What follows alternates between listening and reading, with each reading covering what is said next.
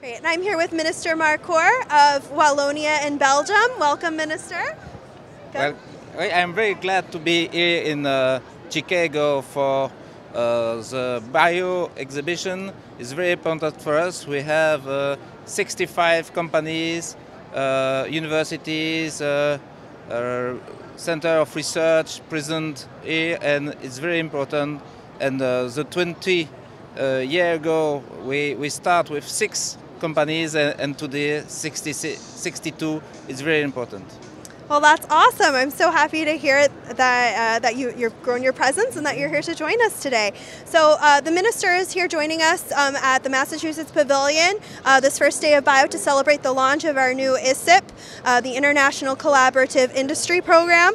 Um, so, Minister, we know that Wallonia is a key driver of the region's social and economic development, and there's evidence that the creation of life sciences clusters such as yours has been successful. How do you see a collaborative alliance between Massachusetts? Massachusetts and Wallonia, strengthening the life sciences industry and spurring economic growth of both regions. Well, yeah, Wallonia is have a, a old history in in the industrial field, and today we have uh, the objective to have new sectors to develop and uh, improve our economy and uh, our uh, employment.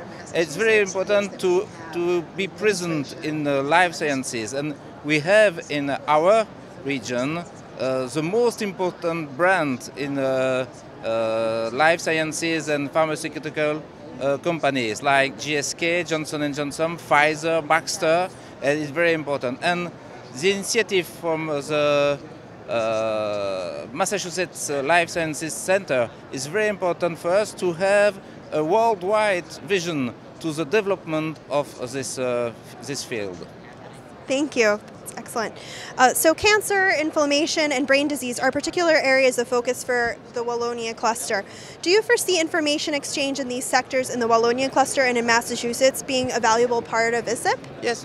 We, we have a, a tradition and we have a relationship with uh, MIT, with Harvard, with uh, Center of Research in, uh, in Massachusetts, but today it's a current system, and we have a, a strong uh, partnership with Massachusetts and Wallonia.